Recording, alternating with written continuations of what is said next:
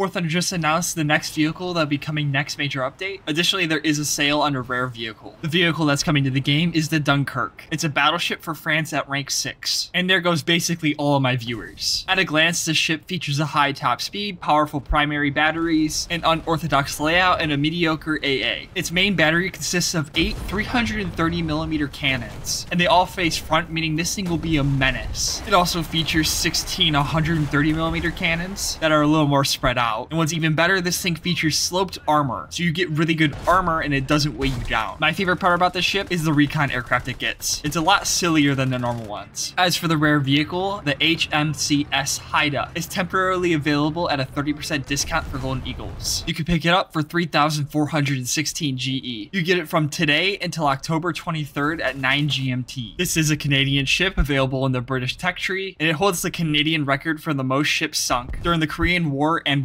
World War II.